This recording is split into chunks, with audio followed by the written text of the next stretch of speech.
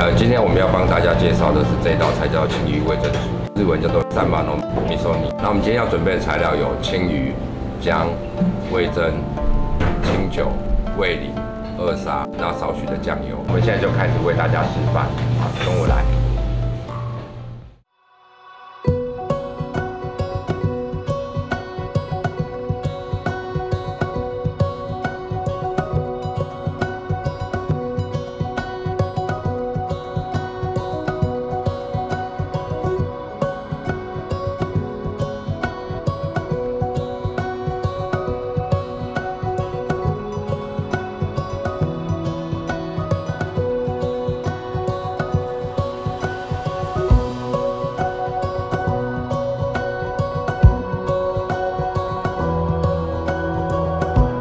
那这道菜其实很重要的一个元素就是姜泥。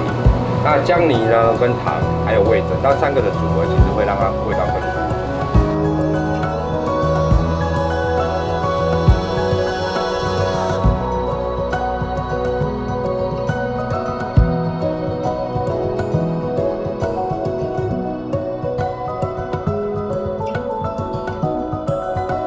那在日本料理里面有一个手法叫做落盖。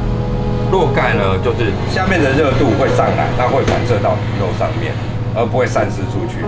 但是又不是把盖子盖密了，盖密了以后，它会产生高压状况，鱼肉也比较容易松软。对，那我们这个肉还是有表保持它一定的 Q 度。